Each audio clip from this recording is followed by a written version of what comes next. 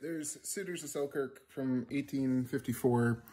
Uh, this is from John McLachlan's Piper Assistant. A really cool book with some really weird grace note, like some really excessive embellishing that I try to copy as written, which is pretty, pretty all over the place. And that's on this Henderson Chanter uh, from around 1910 or so.